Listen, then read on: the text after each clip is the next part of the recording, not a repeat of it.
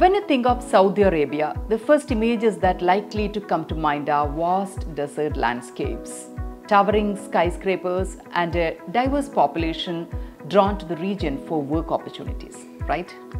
However, amidst this modern urban landscape lies a surprising opportunity farming. While it may not be the first thing that comes to mind when envisioning the bustling city Saudi Arabia offers a wide range of opportunities for farming initiatives. In Saudi Arabia, the organic food market is thriving with a particularly strong demand for organic goat products. This creates a lucrative opportunity for goat farming initiatives to flourish, thanks to limited production capacity and a robust supply chain ensuring profitability. One of the key strengths of goat farming lies in its ability to diversify products offering goat milk, cheese, meat, and other value added items. These products are not only diverse but also boast high nutritional value, meeting the increasing demand for healthy food options among consumers. The goat and goat milk market in Saudi Arabia is experiencing significant growth with an expected compound annual growth rate of 5.72% from 2020 to 2025. The primary reason for this growth is the increasing focus on health consciousness in Saudi Arabia. Obesity is a significant problem affecting 72% of adults over 40 and 35% of the total population suffers from health issues related to obesity with 44% of them being women. Many are shifting towards organic food habits from junk food.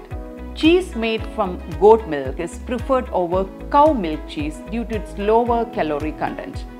Goat milk and its products are rich in vitamin A, B1, B2, B3, calcium, phosphorus, and protein, making them highly nutritious.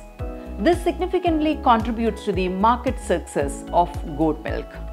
However, as alternative protein sources gain traction among health-conscious individuals, goat products stands out as emerging market segment with significant growth potential.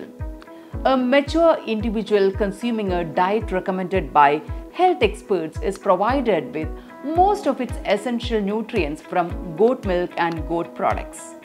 Health experts suggest that the nutrients found in goat milk and goat meat can help to resist metabolic disorders and cardiovascular diseases, two conditions on the rise in Saudi Arabia, contributing to a healthier population.